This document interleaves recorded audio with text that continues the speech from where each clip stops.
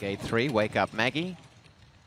And they're off and one of the best into stride, Gormley Girl. And my goodness me, the favourite Courting Courtney stood there, missed the start by about 10 lengths. And if you took one to two, you're going to be worried because this horse is distanced behind the entire field. We'll have to see if that horse was given a fair start and is swishing the tail and doesn't even want to take part from the looks of it. Halo Style onto the course proper in front.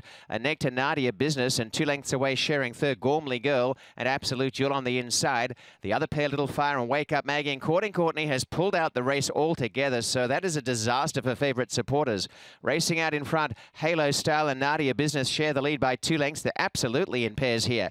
Absolute Jewel on the inside of Gormley Girl. A length and a half to Wake Up Maggie creeping closer and on the outside pushed along as Little Fire. The first quarter was 23 and 4. Halo Style trying to go gate to wire today. Leads along to Nadia Business. Pushed along is Absolute Jewel. Two away making ground. Gormley Girl under the whip. Then Wake Up Maggie and Little Fire. They come down to the final quarter. Halo Styles lead about a half a length to three quarters of Nadia Business. Absolute Jewel in third. Halo Style turns in front. Then Gormley Girl, Wake Up Maggie and Little Fire.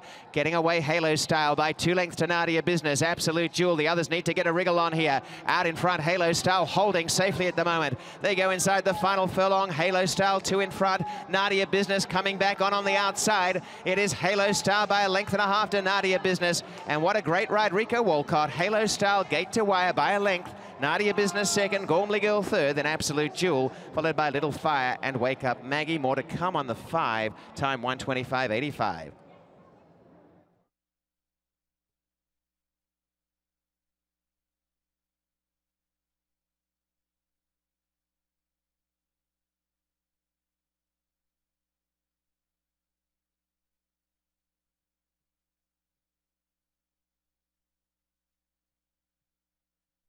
Stewards have opened an inquiry into the start involving the five, Courting Courtney, to see if this horse was in fact given a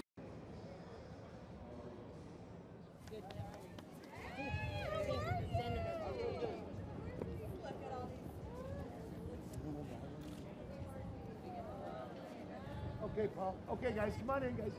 Nice win, Halo Style, and well over the odds for Colebrook Farms. Patrick Dixon, a great gate to wire win, and Rico Walcott, a tremendous all the way on the lead victory. A four-year-old bay filly. She's Amise.